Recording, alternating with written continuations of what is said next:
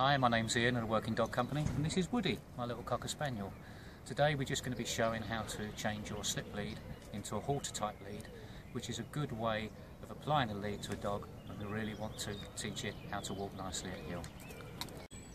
So to turn your slip lead into a halter, make sure that you put the slip lead on correctly. So if he's going to walk on the left hand side, the knotted part needs to go down. So slip it over his head and you can see that if I pull that lead tight, as I release, the knotted part is going to actually release that lead okay, and I've got the stopper here.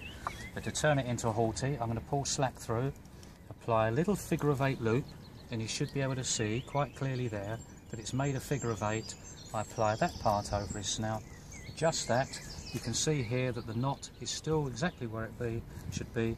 Just apply that part there, and what we have here is a slip lead turned into a little Halti that helps control him for heel work.